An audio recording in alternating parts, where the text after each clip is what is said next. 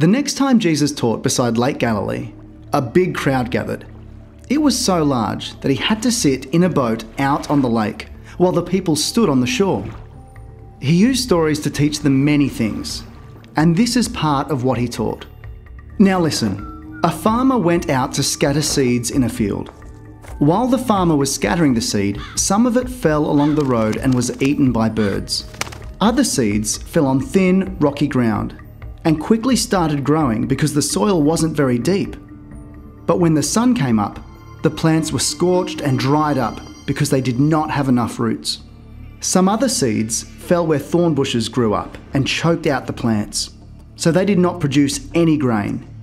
But a few seeds did fall on good ground, where the plants grew and produced 30 or 60 or even 100 times as much as was scattered. Then Jesus said, If you have ears, pay attention. When Jesus was alone with the 12 apostles and some others, they asked him about these stories. He answered, I have explained the secret about God's kingdom to you, but for others I can only use stories. The reason is, these people will look and look, but never see. They will listen and listen, but never understand. If they did, they would turn to God, and He would forgive them. Jesus told them, If you don't understand this story, you won't understand any others.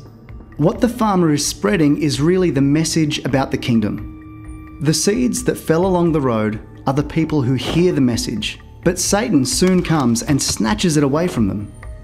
The seeds that fell on rocky ground are the people who gladly hear the message and accept it right away. But they don't have any roots, and they don't last very long. As soon as life gets hard, or the message gets them in trouble, they give up.